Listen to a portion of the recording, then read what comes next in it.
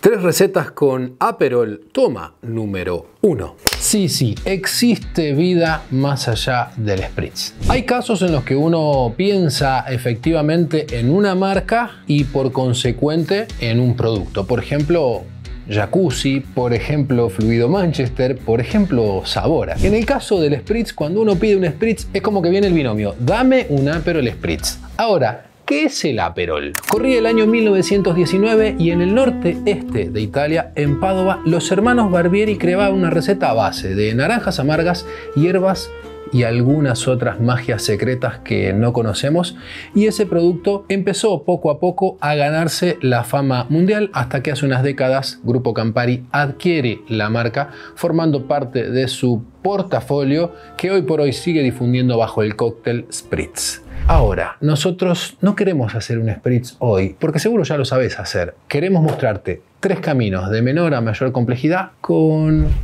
el aperitivo de los hermanos Barbieri.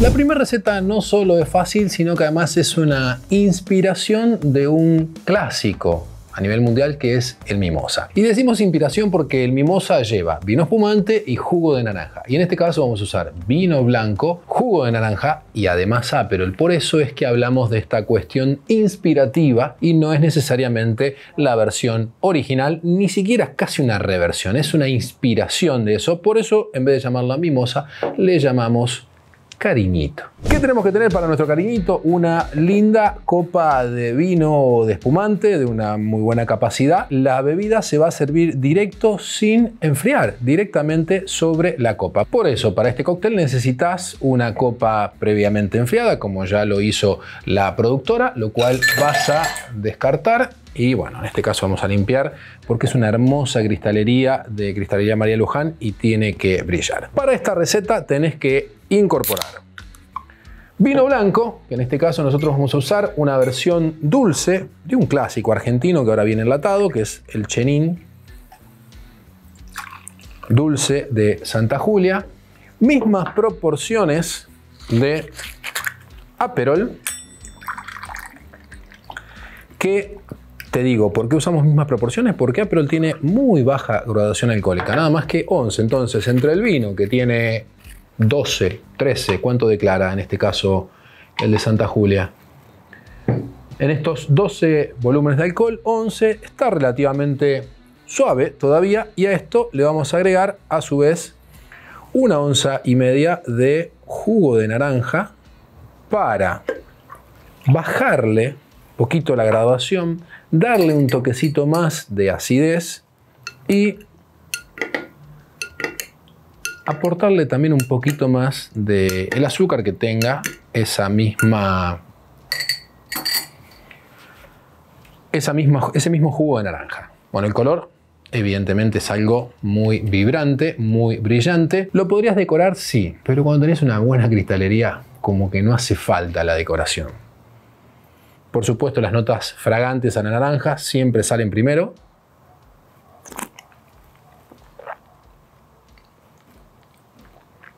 dulce, fácil de beber, algo ácido, sumamente pasatista y menos mal que tiene ese retrogusto amarguito al final porque me podría bajar una jarra gigante de esto en verano.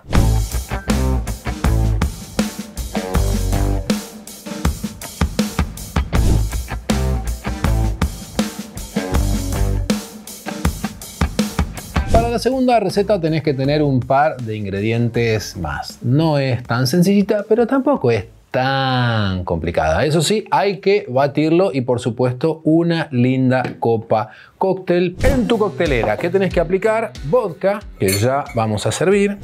La primera parte es la más alcohólica, en este caso vodka. Vas a usar 45 centímetros cúbicos.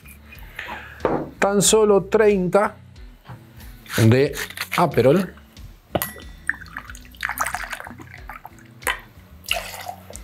Misma proporción para el jugo de arándanos.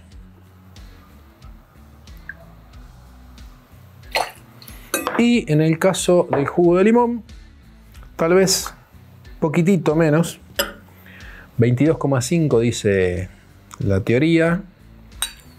Tres cuartas partes de onza. Hielo a la coctelera.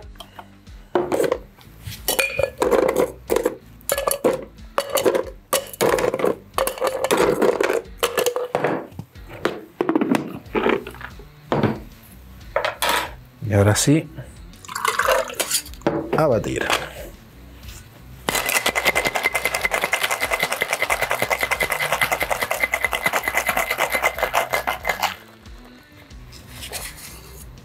Bien. Perfecto, linda espumita. Siempre es buena señal cuando uno bate tener buena espuma. Descartamos nuestro hielo. Y vamos a hacer un doble colado. Primero con nuestro colador aruga y después con uno de malla. Para frenar los hielitos que queden dando vuelta. ¿Por qué frenamos los hielitos? Porque es un cóctel elegante, tiene que estar sumamente lindo. Y acá lo vamos a decorar con un lindo rulito que me dejó listo la productora. Permiso.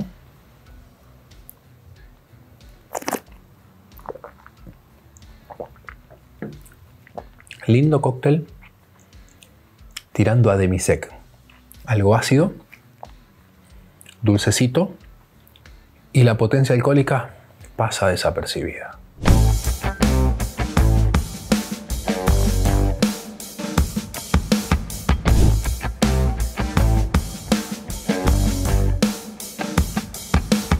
La tercera receta es casi tan difícil como la anterior. La única diferencia es que vamos a incorporar clara de huevo, por esa razón la dejamos al final de, esta, de estas tres, por una cuestión de que, bueno, tenemos un ingrediente que tal vez no es habitual dentro de las recetas de los cócteles.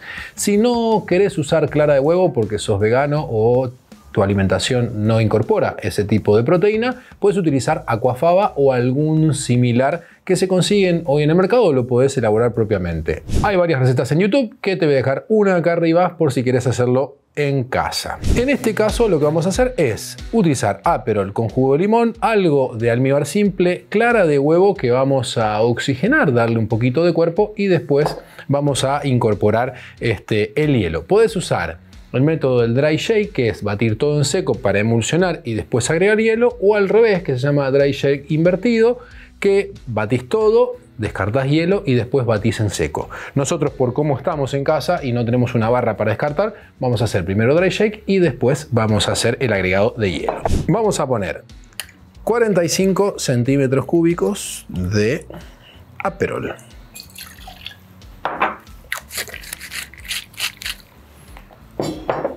Media onza, es decir, 15 centímetros cúbicos de jugo de almíbar simple, no de jugo.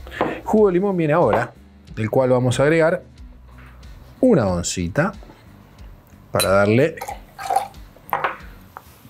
la acidez y además para que funcione como la parte cocinante de nuestra clara de huevo, que en este caso, midiéndola, nos da apenas 15 centímetros cúbicos. Todo adentro y a batir. Hay algunos que dicen que hay que darle como más vueltas redondas como para que pueda emulsionar.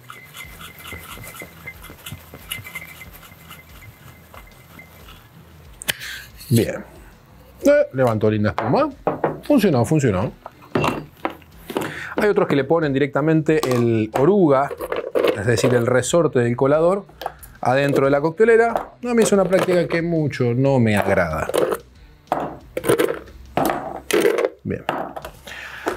Buena cantidad de hielito. Y ahora sí, a volver a tapar y a batir.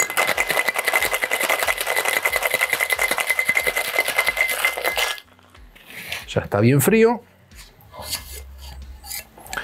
Y en una copa de tamaño similar a lo que vendría a ser una copa cóctel o una copa tipo de espumante, que nosotros vamos a usar eso, ahí vas a servir tu trago sin hielo directamente.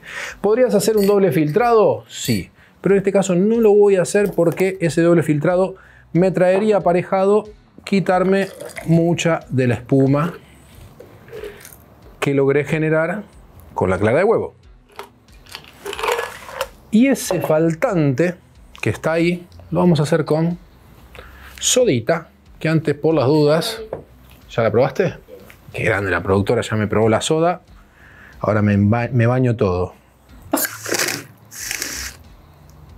Ahí está, un poquito más, un poquito más. Solo por goloso de que quedó muy linda. Y esa espumita que quedó ahí dando vuelta, vamos a agregar un poquito de piel de naranja para romperla. Mira, está tan espesa que se cae la naranja. Uh, qué lindo, productora.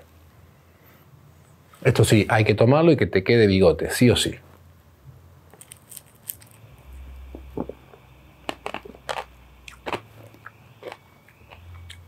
Qué delicia.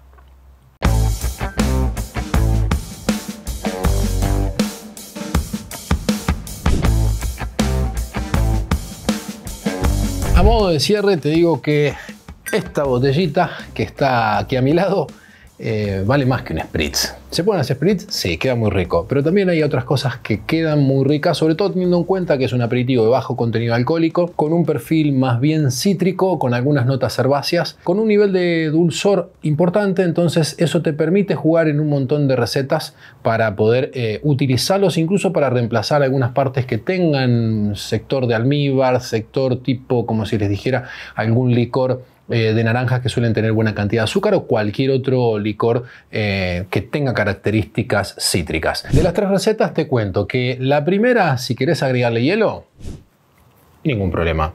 Agregarle sin ningún tipo de inconvenientes que te va a quedar sumamente fresco. Si le querés buscar la cuestión elegante, bueno, iría sin hielo.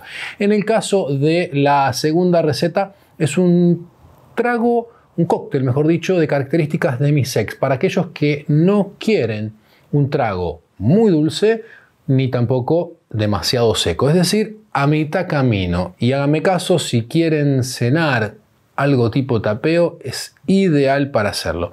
Y finalmente, el tercero, si te animás a la clara de huevo, si te animás a ese tipo de instancia más cremosa, va bárbaro como postre, como para cerrar. Dulcecito, ácido, bien cremosito, que está más que rico. Ahora, nos quedó afuera tal vez el trago que más nos gusta con la productora con Aperol. Es el Paper Plane, que no lo hicimos porque ya lo hicimos en otro video que te lo voy a dejar acá arriba para que lo puedas ver. Nosotros nos despedimos y ojalá en algún momento volvamos a la terraza Aperol ahí enfrente del Duomo del Milán.